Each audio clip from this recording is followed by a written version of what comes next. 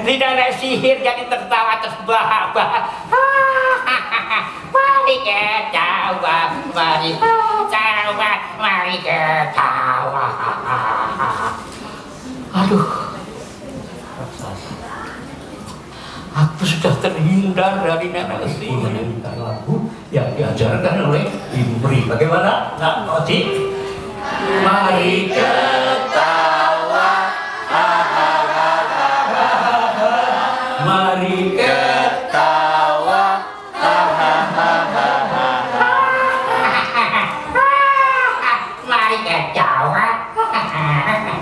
Saya dilahirkan dengan nama Suyadi.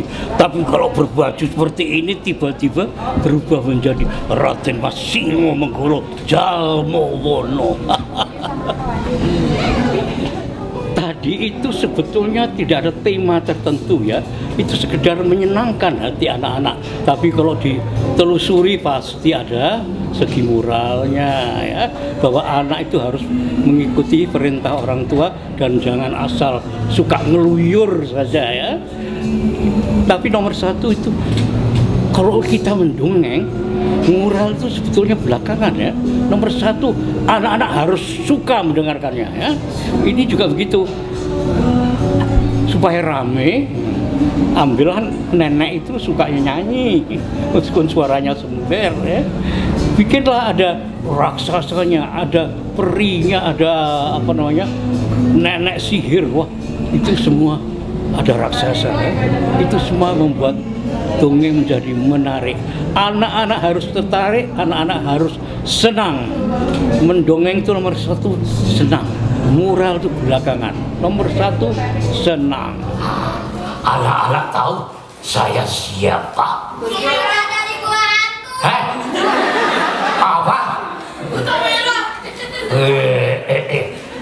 Betul. Aku seorang raksasa. Anak-anak tahu? Raksasa itu makanannya apa? saya pikir ya para sastrawan kita ya dan para pujangga kita tuh terlalu sedikit yang mencurahkan itu perhatiannya pada dunia anak-anak. Padahal ya berbuat sesuatu untuk anak itu bukanlah hal yang remeh. Ingat Hans Christian Andersen dengan dongeng-dongengnya untuk anak-anak dongengnya bisa mendunia malah Raja Denmark sendiri, raja, raja di zaman itu pernah mengatakan Denmark terkenal karena dongeng dari Andersen. Ada yang nakal di sini. Itu yang di atas tuh. Pak pasti ada yang nakal. Ada yang nakal di sini. Ada yang nakal di sini. Ada yang nakal di sini. Aduh. Kalau tidak ada yang nakal, aku pasti kelaparan. Eh, saya menyambut baik undangan dari Galeri Indonesia Kaya untuk mengisi acara di sini karena tujuan kami adalah eh, menghibur anak-anak dan memperkenal- memperkenalkan dongeng-dongeng Nusantara yang sudah kami tekunin 30 tahun yang lalu. Karena itulah an- eh, baik kalau acara ini untuk anak-anak terutama diperbanyak lagi dan sering lagi. Karena eh, Galeri Indonesia Kaya akan banyak memperkenalkan budaya anak Indonesia melalui cerita juga melalui eh, hal-hal lain yang berkaitan dengan budaya.